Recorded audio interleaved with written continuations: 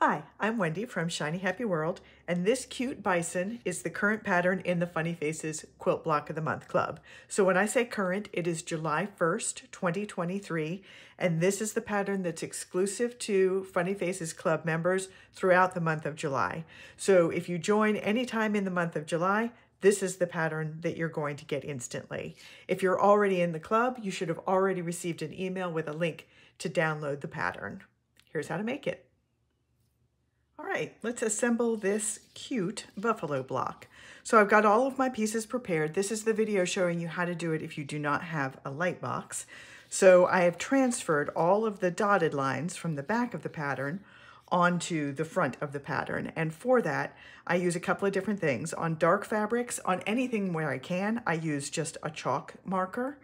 Um, if it had a lighter fabric, uh, like on this one, the horns, I will use a pencil because the chalk, the white chalk does not show up on it.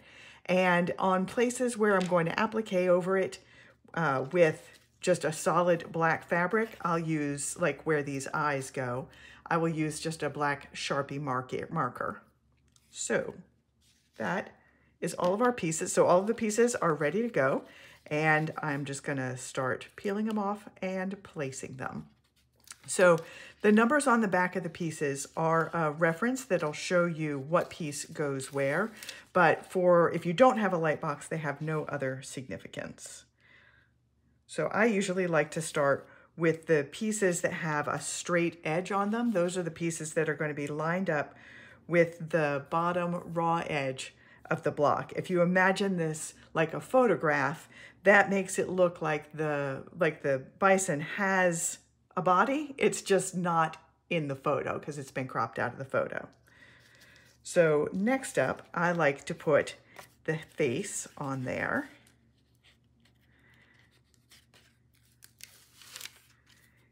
And if you, you've got these lines that I transferred, as long as I have covered up the lines, I know that I have a good amount of overlap there and I'm going to be able to um, stitch it down and it'll hold up very well in the wash. So now I've got, let's see, I think I will put this shaggy hair on the top next. And again, once I cover up those lines, I know I've got good coverage. All right, next up, I'm gonna tuck his horns in there. So the horns are going to tuck underneath that shaggy hair. So it's as if he's, um, that hair is flopping over the top edges of the horns. And we'll do the same thing on the other side. So you can see I've got lines here showing where the hair overlaps. And I've got lines on here showing where the horn overlaps. So we're just gonna tuck that in there and let that hair overlap it. All right, next up, we will place some ears, and the ears are two pieces.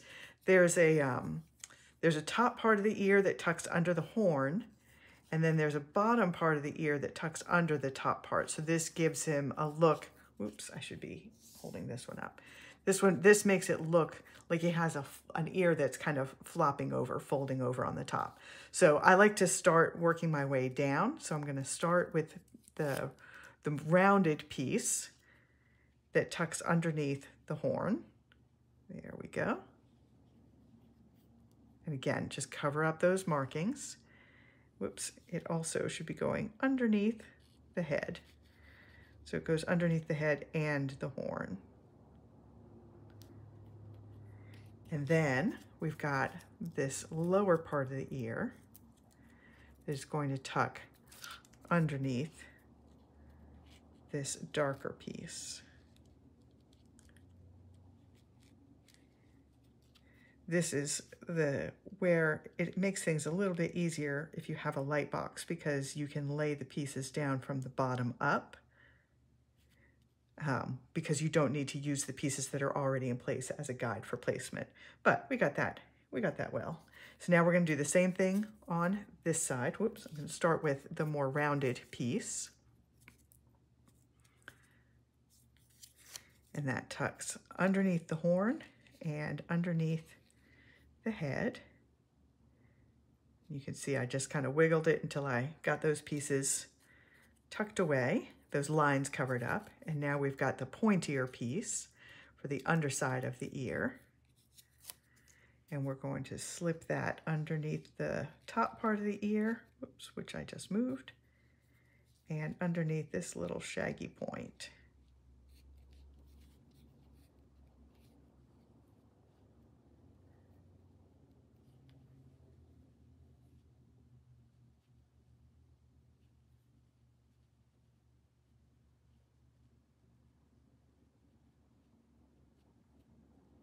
And sometimes it takes a little wiggling. There we go.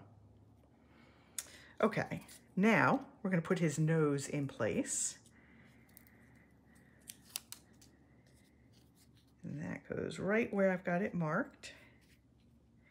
And then there's a little bit of um, his under lip, basically, which is just going to tuck under that curve of his nose there. All right, and now all I have left are the eyes and the little nostrils. So the eyes are pretty big. They're not going to be difficult to outline. The nostrils, they're a little small. You can still outline them. I will be outlining them, so I'm going to sew them in place. But if you dislike stitching down such small pieces, there are multiple options for alternatives, and the pattern has links to a post that gives you lots and lots of those options. I share in there my favorite fabric paints for doing that. I share my favorite fabric markers. There's links to tutorials showing um, how you can machine, machine stitch these. If you have an embroidery machine, there are free files for uh, that you can download and use on your embroidery machine for ovals of different sizes. Lots and lots of different options but um, those are all linked in the post. So there we go. That is the almost finished bison.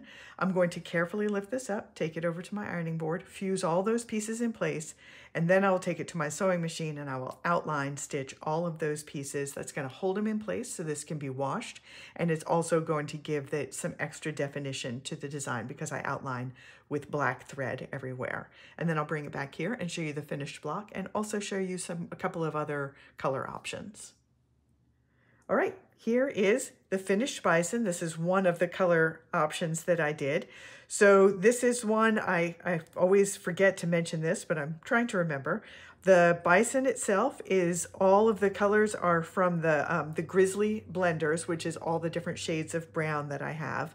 And this background block is also one of the Grizzly blenders. So he is brown on brown on brown, but you get a range of light and darks within those blenders. And so it works.